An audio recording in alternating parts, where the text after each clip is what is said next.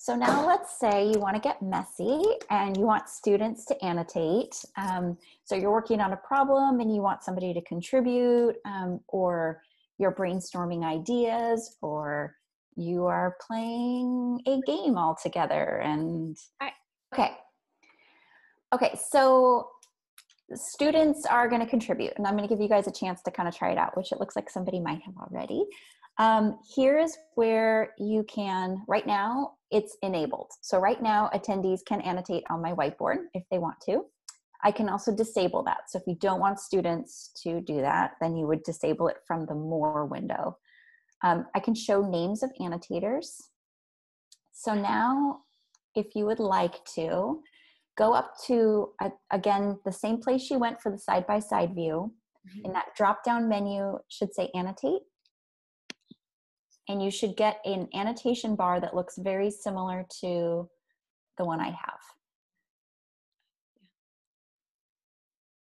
And then go ahead and, excellent, add something to the window so I know you've got it. Where did you say that was? Click to the right of you are viewing um, Tiffany Spalding's screen. I think Uh-huh. it says view options. Yes. And if you click on that, you should get something that says annotate. Okay, thank you. Yes. Um, and you'll notice play around with the different tools. You're not able to use all of them. You are not able to use the clear tool. Um, you're able to move things, but only before you click off of it. So if you're using the text tool and somebody starts to um, or draws something underneath where you have done something, you can only move it while you're still typing it. How did I get that pretty color? I love it, but how did I do that? Uh, click on format. format. It just did it. I didn't do that, but it's really pretty. I like it. How beautiful. I think it automatically gives everyone a different color um, Oh. default, um, just so that way for tracking purposes. But um, I could be wrong. This is the most we've used our whiteboard with, um, but I think that was the thinking behind it. So you just lucked out that your default was the pretty color. My favorite. And you'll notice too that with the arrow tool, um, like Liliana has one with her name in it. If Liliana were to click somewhere else, her arrow would move. So the point of that is to say, oh, like here's where I did whatever, um, so people know where you're pointing to. So why would you use this? So you mean with students? Um, I would use it. You could use it as a a brainstorming tool. Um, you could use it if I wouldn't necessarily.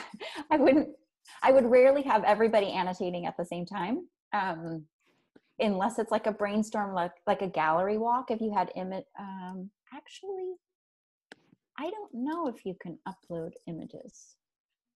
I Um, seen or if you're meeting before. with like a small group at some point, like the first few weeks of distance learning, right? Like we're just we're just trying to connect with our kids and make sure that you know everyone's doing okay and just we're just getting our feet wet but as you start thinking like maybe like three weeks from now or whatever if you're starting to get like some projects starting to go and maybe you have like a small group or a book club or something that you know may, or like a small writing group or you want to do some skill practice or science thing or a math um, a little math group on a skill like then you might want to have everyone annotating because you're only meeting with like five kids something like that. Um, but yeah i don't know if i'd want to have unless you're doing like a game or a full class thing i don't know if i'd want to have 30 kids annotating No. at the same time. That sounds like maybe like it might be a fun icebreaker like one of the first times you connect with your kids like you know this week or next week but in general probably not going to happen. But i could see using it where i mean you'd have to it, like you know like any anytime you're establishing rules and routines with your class where even though they all have access to annotate at one time um, you might want to have them get it out of their system to try it out but after that establish you know if somebody's annotating it's not your turn that kind of thing. Um, but they could be explaining how they solved a problem. Um, they could um, you could have them if you're practicing like a um, a particular grammar rule and and they've come up with a sentence or something that that exemplifies it or a sentence structure or something like that they could type in their sentence that they they came up with. Um, if you're using breakout rooms, which um, we've touched upon a little bit with Zoom, um, maybe the group is talking about something and they come back and and one representative from each group types, you know, the sentence a sentence that that um, kind of sums up what they were talking about in the breakout breakout room to share with all the other groups. This would be really good for number talks for math too. So if you're doing like number corner type of stuff um, with your Yes. kids, again, it's like you have to have those norms set up right where, okay, annotation's open, but only so and so is going to contribute at this time. So, but what's nice is you can at least see then if, right, with that, when that, because you can have it so the names pop up, so you can at least see then if someone is annotating when they're not supposed to. Um, question, since we're all here annotating, um, are you guys able to change pages or is it just me? It's just you, Tiffany. Okay. Just the host. It sure would be nice if you guys could, because then each kid could take a page or each group could take a page. Oh well. Look at that. Okay. Um, the other thing to be aware of, just so you know, is that it looks a little, the annotation tools look a little different on a tablet than they do on the um, computer. So if your students are using tablets that they have at home instead of a computer, their annotation tools will be at the bottom of the screen and they're hidden until they kind of hover over the bottom left and they'll see a pencil inside of a circle. Um, and they'll need to find that pencil and the circle and click on it. And then they'll see the same annotation tools. And, and then they work the exact same way. But it's just a matter of finding them. It's a little bit different. Um, and the other thing, um, just as a side note, it's a little bit different, but students, you can make it so students can share their own, um, can also share a whiteboard of their own. And one thing we discovered is that for everyone who shares a whiteboard, that whiteboard is is saved separately, um, and it's saved well at least until the end of the until you end the meeting.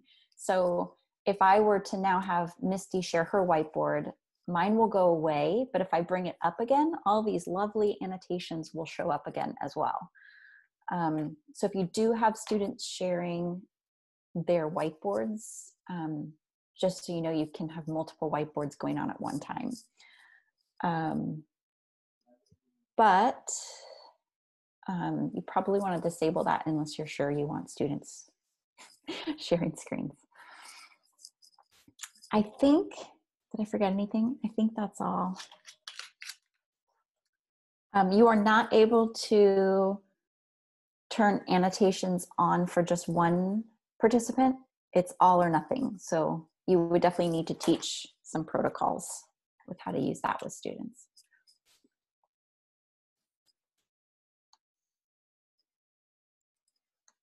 Anything?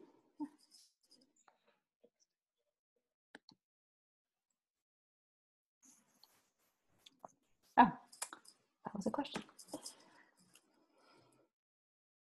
Okay, if there are no questions about that, um, oh, then you'll need to hit stop record. One thing I did not mention was that when you go to record, it's going to ask you whether you they want you want to record it and have it save it in the cloud or on your local computer. Um, because we have basic accounts right now and not paid accounts, you should probably save to your computer because we have limited cloud storage space. So you might run out or you might lose them. Um, so it's best just to save to your computer if you are recording it.